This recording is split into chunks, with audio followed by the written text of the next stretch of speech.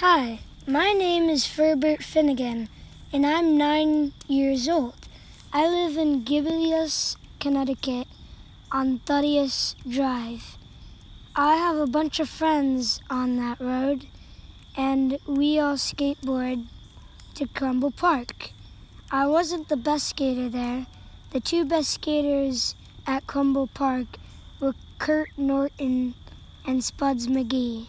Spuds McGee was the bully of the park, always laughing at us falling and being cocky.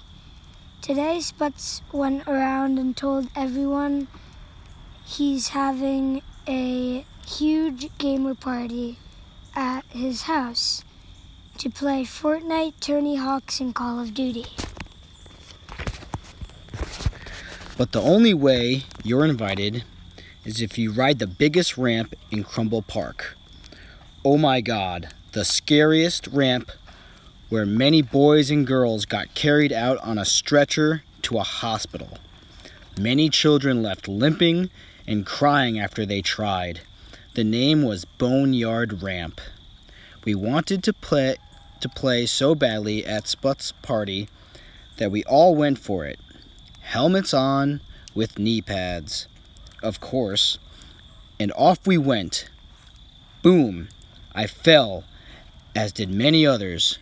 Chucky made it, and so did Harvey, but barely. We all kept trying. It was down to me, Mason, and Max. We went again. Max made it, and then Mason made it. I fell right in front of the spot to finish. I felt bummed. I was tired. Spuds laughed. Ha! Come on, Furbert. You're wasting gaming time. Then a hand reached in front of me. It was Kurt Norton. He helped me up and said, When you fall down, the only thing left to do is get up. He gave me a sip of his Gatorade and went back to the group of kids on the other side. I tightened my helmet and fixed my pads. And as I was setting up my skateboard, I heard a cheer that changed my sad face to a happy face. I heard the entire skate park cheering, Furbert, Furbert, Furbert. With confidence, I took a deep breath and off I went. Picking up speed and keeping my balance, I hit the ramp to the top and in midair, I knew I cleared it.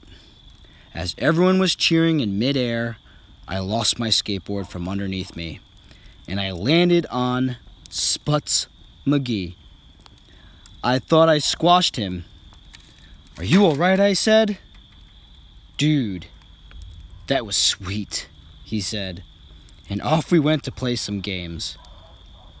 Skating with laughter and excitement, I giggled inside knowing that I am not the best skater at Crumble Park, but I am the nastiest when it comes to gaming. Ha ha ha.